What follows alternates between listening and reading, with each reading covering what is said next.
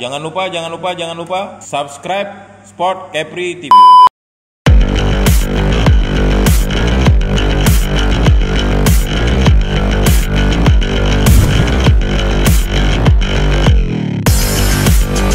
Assalamualaikum warahmatullahi wabarakatuh. Salam olahraga, Jaya. Hari ini tim Sport Capri TV berada di Kota Kijang, eh, bertepat di lapangan sepak bola Demang Lebar Daun, yakni yang terkenal eh, pada umumnya masyarakat mengenalnya adalah lapangan sepak bola Antam. Lapangan ini berdiri di tahun 2011 dan diresmikan oleh Bapak Bupati kala itu Bapak Ansar Ahmad dan saat ini masih berfungsi dengan baik dan masih dimanfaatkan oleh masyarakat sekitar dalam kegiatan sepak bola dan kegiatan yang tadi juga ada itu kegiatan eh, olahraga football.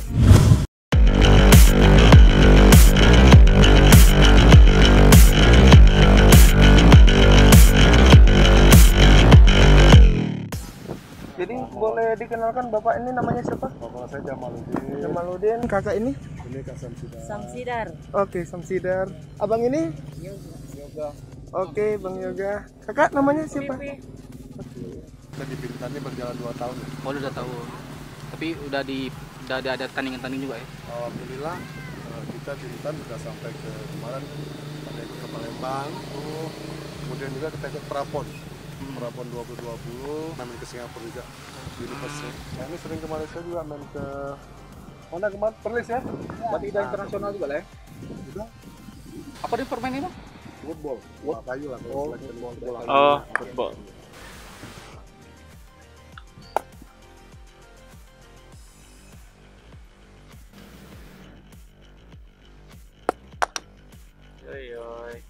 Cara Jadi perhitungan hitungannya- permainan macam mana nih, Bang? Bulan ya. Kan L. Kalau L ini maksimal kita 5 pukulan. Jadi kalau bolanya kita pukul keluar, pukul ke dalam lagi itu pukulan yang ketiga.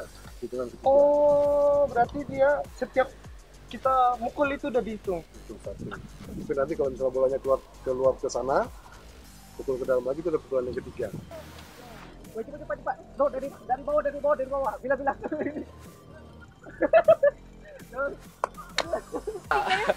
Untuk untuk yang muda-muda, adik-adik kita yang masih sekolah biar mereka berminat untuk ini olahraga ini karena di luar itu umur umur lima tahun itu udah udah ini jadi anak-anak anak sekolah tuh banyak sekali. Cuman di sini aja kayaknya adik-adik kita nih masih suka berhonda-honda. Iya, kan iya. olahraganya mereka kurang. Kurang itu ya kurang Ah, minatnya gitu Cuman ya bagusnya Harus lagi kita bisa ya. masuk ke sekolah-sekolah. Iya. Nah, dari misalnya KONI bisa ini kan. Dinas Pedispora lah Mm-mm. dari sekolah. kalau dalam latihannya kak macam wabah corona nih ki- sekiranya tuh terganggu atau tidak kak Dasarnya kan kalau corona ini kan banyak bilang harus berjemur. Ya Iya kan? Nah, jadi kalau olahraga ini kita kan berjemur terus Iya, nih. panas-panas. Heeh, panas-panas. Mudah-mudahan kan virus itu bisa mati. kalau di rumah kan kita di rumah aja. Duduk, Heeh, diam. duduk. Sakit juga badan. Gitu. olahraga ya kan? iya betul oke kak terima kasih banyak jangan lupa kak sport capri Oke, ya seperti ya. alright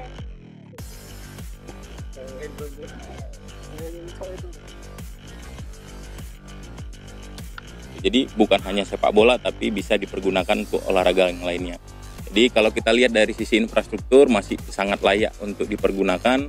Harapannya mungkin ke depan kepada pemerintah Pemkab Kabupaten Bintan adalah untuk memperbaiki yang kita bisa lihat ini adalah eh, rumput yang mungkin sudah tidak eh, maksimal lagi dan eh, harapannya perlengkapan-perlengkapan seperti gawang dan lain-lainnya itu bisa diperbaiki. Pagar juga mungkin sudah ada beberapa yang tumbang begitu ya. Jadi harapannya ini bisa diperbaiki oleh pemerintah daerah. Kita kedatangan dengan Bang siapa namanya? Sedikit. Bang Sikin ya, Bang Sikin yang biasa eh, berolahraga di sini. Mungkin langsung saja kita mungkin bisa bertanya-tanya kepada Bang Sikin seperti apa kegiatan di dalam lapangan.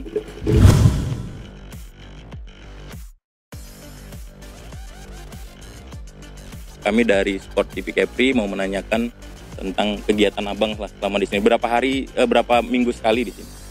Eh, kalau saya di sini tiga kali seminggu hari Senin, sore, Kamis sore dan Minggu pagi. Nah, kegiatannya apa itu? Jadi di sini kami ada SSB Bintan Muda. Bintang Muda. Jadi SSB Bintan Muda ini kalau itu anak dari umur 10 tahun, 11 dan sampai 12 dan senior.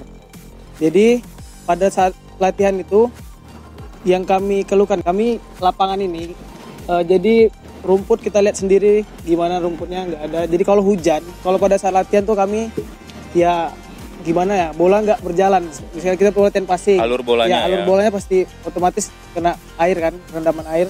Jadi ya itu pertama. Terus lap anu kita lihat sendiri anu pagar udah pada roboh.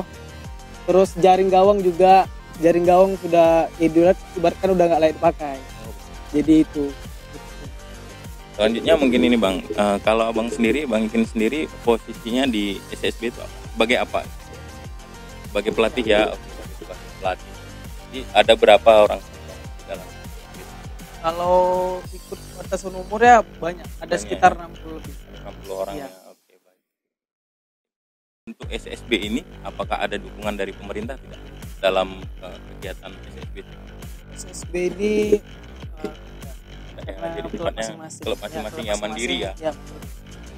ada manajer juga kan kalau untuk eh, sama pemerintah belum Belum ada. Ya. Pertanyaan selanjutnya harapan Bang Ikin sendiri lah kira-kira untuk ke depannya SSB tersebut.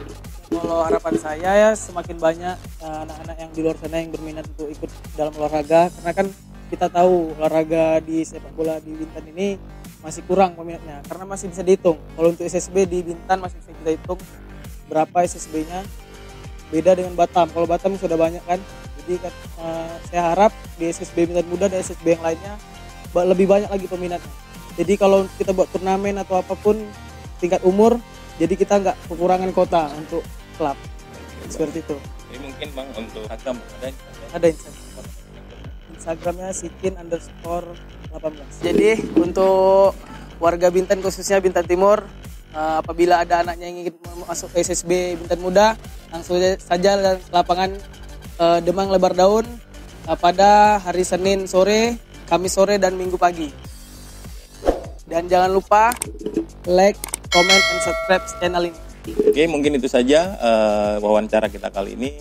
Sampai ketemu lagi di video-video selanjutnya. Terima kasih. Assalamualaikum warahmatullahi wabarakatuh.